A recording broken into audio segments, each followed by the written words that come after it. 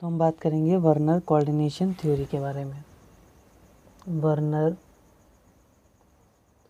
Coordination theory. Werner का उपसार संयोजक सिद्धांत। तो बेसिकली वर्नर ने क्या बताया था? वर्नर ने कोऑर्डिनेशन कंपाउंड जो हमारे होते हैं उपसाह संयोजक यौगिक। उपसाह संयोजक यौगिक। इनको समझाने के लिए एक सिद्धांत दिया था। उसी को हम लोग क्या बोलते हैं? वर्नर्स उपसा संयोजक सिद्धांत। इसको समझने से पहले हम लोग समझ लेते हैं, द्विक लवड़ क्या होता है? डबल साल्ट जिसको बोलते हैं। तो अगर एक कोई लवड़ दो साधारण लवड़ से मिलकर बना होता है, ठीक है? जैसे सपोज़ कर लीजिए हमारे पास है K two S O four plus L two S O four का whole thrice plus twenty four S two यानी हमने इसको पानी के अंदर खोल दिया। और घोल करके हीट कर दिया। तो ये क्या होगा? ये हमारा बना लेगा फिटकरी बना लेगा। K two L two S four का whole twice into twenty four H two ये हमारा क्या बन जाएगी? फिटकरी ठीक है? होगा क्या? ये जो फिटकरी बनती है, इसके अंदर जो प्रॉपर्टीज़ होंगी, जो गुण होंगे, वो इनके और इनके गुण होंगे। और जब हम इसको किसी विलायक के अंदर घोल दें, विलायक जिसमें किसी किसी चीज़ को घोला है तो उसको हम लोग क्या बोलते हैं? विलायक बोलते हैं। तो अगर उसमें घोल देंगे तो ये क्या हो जाएगा? फिर से K two S four L two S four में टूट जाएँगे। ठीक है? लेकिन उपसार संयोजक यौगिक क्या होते हैं? तो अगर मान लीजिए हमारे पास है K four F E C N six ठीक है? ये किससे मिलकर बना हुआ है? ये भी मिलकर बनता है हमारा। लबड़ से ही मिलकर बनता है। जैसे मान लीजिए हमारे पास है K C N plus F E C L two इन्होंने रिएक्शन करी और क्या बनाया? Two K C L plus A P C N का होल ट्वाइस ठीक है? फिर हमने ले लिया एफ़ ई सी एन का whole twice plus four K C N तो क्या बन जाएगा हमारा? K four F E C N का होल सिक्स अब क्या है? ये भी किससे मिलकर बना हुआ है? लबड़ से मिलकर बना हुआ है। लेकिन इसमें डिफरेंस देखिए, क्या है? द्विकलव और इसमें। ये जिनसे मिलकर बना हुआ अगर हम इसको फिर से ब्लैक में घोलें तो ये इनमें नहीं टूटेगा। ठीक है? और मेन चीज़ क्या है कि इसके जो प्रॉपर्टीज़ होंगे, इनकी जो प्रॉपर्टीज़ होंगी, उनसे क्या होंगे? डिफरेंट होंगी। तो ये द्विग्लवड़ और हमारे उपसा संयोजक योगी में क्या होता है? डिफरेंस होता है। अब वार्नर ने इसको कैसे समझाया? समझाया? वो हम देखते हैं, वार्नर ने इसको कैसे समझाया?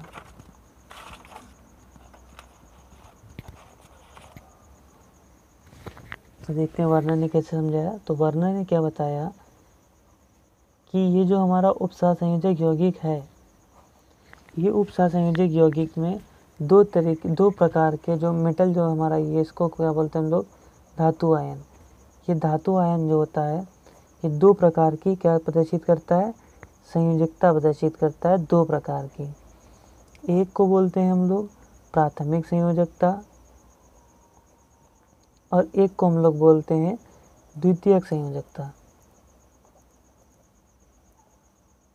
प्राथमिक संयोजकता क्या होती है?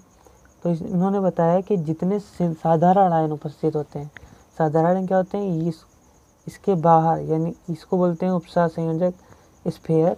इसके बाहर जितने आयन उपस्थित होते हैं, उसको बोलते हैं साधारण आयन। तो जितने साधारण आयन उपस्थित होते हैं, वो बताते हैं प्राथमिक संयोजकता को। दूसरा पॉइंट हो गया।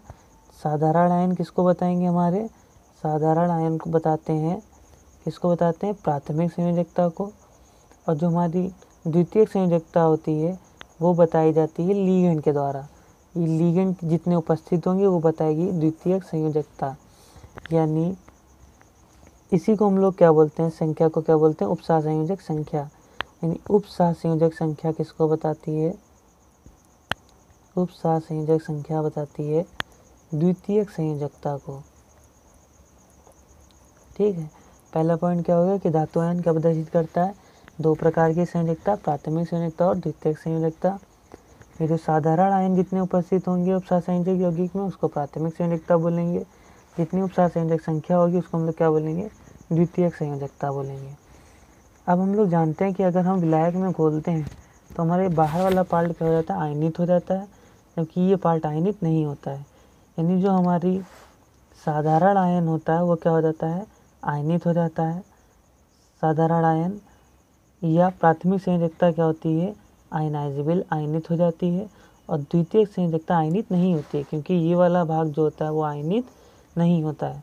तो यही वर्णन ने तीसरा पॉइंट बताया कि हमारी जो प्राथमिक संयोजकता है, प्राथमिक संयोजकता होगी जो, वो क्या हो जाएगी? आयनित होगी। और जो द्वितीय संयोजकता है वो आयनित नहीं होगी। द्वितीय संयोजकता आयनित नहीं होगी। आयनित नहीं होती है। ओके, ये हमारे तीन पॉइंट हो गए। नेक्स्ट पॉइंट हम लोग देख लेते हैं। चौथा पॉइंट क्या बताया इन्होंने? तो चौथा पॉइंट ये बताया कि जो हमारा ये के फोर एफिसियन सिक्स है के फोर एफिसियन सिक्स इसमें क्या होता है कि ये जो हमारा सिंपल आयन है, चूँकि आयनित हो जाता है तो आयनित हो जाने के कारण अगर इसके ऊपर प्लस आएगा तो इसके ऊपर क्या आ जाएगा? माइनस आ जाएगा। यानी ये जो हमारी प्राथमिक संयोजकता है, ये बताती है हमारी ऑक्सीकरण संख्या को। प्राथमिक संयोजकता किसको बताती है? ऑक्सीकरण संख्या को। और जबकि द्वितीय संयोजकता जो होती है वो क्या बताती है संयोजक संख्या को? जितने लीगेंड उपस्थित होते हैं, वो क्या बोलते हैं? संयोजक संख्या। यानी जो हमारी द्वितीय संयोजकता होती है, वो किसको बताती है? उपसार संयोजक संख्या को। ठीक है, प्राथमिक संयोजकता बताती है ऑक्सीकरण संख्या, द्वितीय संयोजकता बताती है उपसार संयोजक संख्या को।